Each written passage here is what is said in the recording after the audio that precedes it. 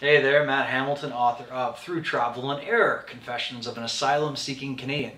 Welcome back to my online readings. This week is chapter 22 called Finding Malawi.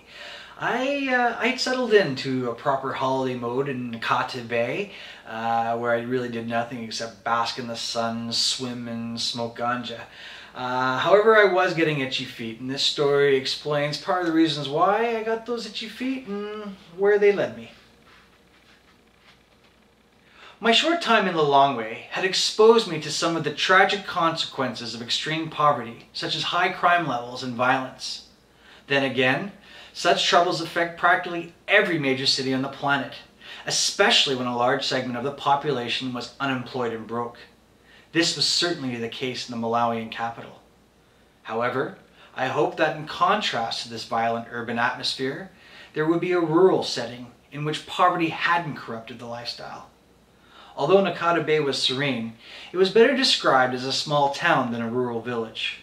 After all, it was complete with restaurants, hotels, and electricity. I wanted more basic and less 21st century. In essence, I wanted to feel as though I had gone back in time. I had discovered a drastic distinction between the hectic pace of a place like Johannesburg and the peaceful hills of the Transkei. The poverty had ensured that the rural lifestyle of the Transkei remained authentic and traditional. I desperately wanted to experience this peacefulness and simplicity of the Malawian villages that I had so loved in South Africa. Despite my ignorance of the country, I believed that such places existed within Malawi. It was just a question of getting off my ass and finding one. There was a scattering of us who had been based in Luwani village for an extended period of time. One of the longstayers, a French guy named Alex, was getting itchy feet. He suggested we travel up the lake to a tiny village he had visited in the past. He couldn't remember the name of the village, but he said he remembered exactly how to get there. The Frenchman said that the region was so incredibly beautiful and unique that the actual name was irrelevant. As far as he was concerned, all that mattered was that it was the perfect spot to disappear for a few days. A small group decided to join Alex on his return to the remote rural community. It was an adventure that would include the five hour water taxi ride to Usisia, followed by a 10 kilometer hike across the Malawian countryside. Hearing Alex's charming description of the nameless village, there wasn't any question that I would join the adventure. And we were off the next morning. We took this five hour water taxi ride to this small little village called Usisia, camped there for the night, and then the next morning we were off again to begin this 10 kilometer hike across the Malawian countryside. The next morning we were up bright and early. Following a quick breakfast of bananas, we loaded up with fresh water, a few cobs of weed, and our packs. We began the 10 kilometer hike across the countryside towards our utopian destination. We began by trudging up the steep hills, which provided us with spectacular views of the lake. These views were a great excuse to stop and catch our breath. We continued back down into the lush green valleys, where the heat and humidity was as thick as the bush. Inevitably, the trail would lead lakeside, where we would drop our packs and jump into the water for a quick swim to cool our sweaty bodies. Following a spliff, we'd throw in our gear and be on our way. It was usually up another hillside. Well, we continued this journey and we went through some beautiful villages. And uh, just as the packs were starting to get a little too heavy, we came around a corner and there in front of me was Utopia. It was this village that Alex had talked about. And uh, yeah, we'll continue the story with our arrival there and just the initial feelings and assessments. We took a quick swim, rolled a couple of celebratory joints, and began to make our camp. As we were doing so, I spotted an old man paddling towards the beach in a dug-out wooden canoe, which is called a mokoro. He beached his mokoro, walked up to us, smiled, and said in surprisingly good English, My name is Chief Chimombo. You're welcome to stay on my beach for as long as you want. A little dumbfounded by the gracious welcome, we thanked him for his hospitality and commented on how beautiful his village was. He continued to smile and went on to ask, Is there anything that you need? Food? Firewood? We nodded that we did. The chief's smile broadened. I'll send people. And with a kind and sincere handshake to us all, the old man returned to his Mokoro and slowly paddled away. Within an hour, firewood and food arrived. One morning, Chief Chimombo arrived at the beach with two teenagers. He said to us, These boys are here to sell you ganja. This incredible chief, knowing that the lot of us were marijuana smokers, brought two kids over to sell us some local product. It was an attempt to put some money in their desperate and empty pockets. Chimombo was an excellent chief. He was genuinely looking after the best interest of his village and villagers.